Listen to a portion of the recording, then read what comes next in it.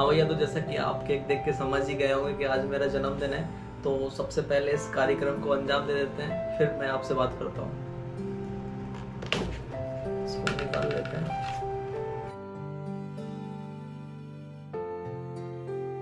ये happy birthday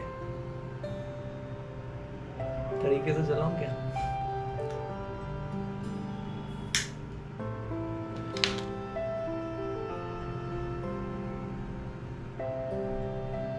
Alexa मुझे happy birthday बोलो। Happy birthday to you happy birthday to you happy birthday happy birthday happy birthday to you thank you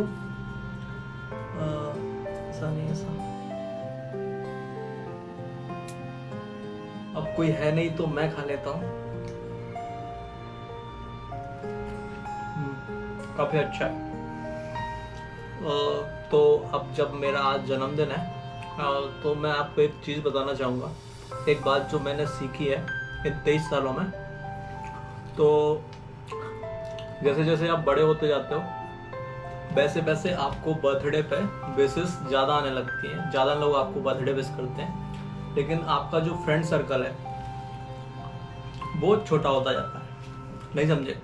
चलो मैं आपको example से समझाता हूँ। जैसे कि जब आप 18 साल के हो और अगर आपके उस समय 200 दोस्त हैं तो आपके 18 से 23 साल तक आते आते दो चार ही बचेंगे।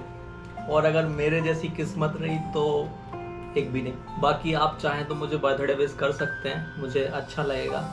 और अगर नहीं भी करेंगे तो भी कोई बात नहीं, है ना? बस यही है।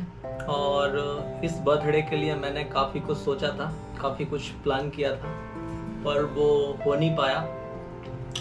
वो एक थॉट है ना कि तू करता वो है जो तू चाहता है, पर होता वो है जो मैं चाहता हूँ।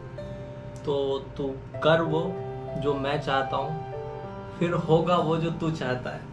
तो बस यही बात थी जो मुझे आपको बतानी थी, और यही है मेरी छोटी छोटी खुशियाँ। तो मिलते हैं आपसे बहुत जल्दी एक नए वीडियो में, नए ब्लॉग में। बाय और ठीक है।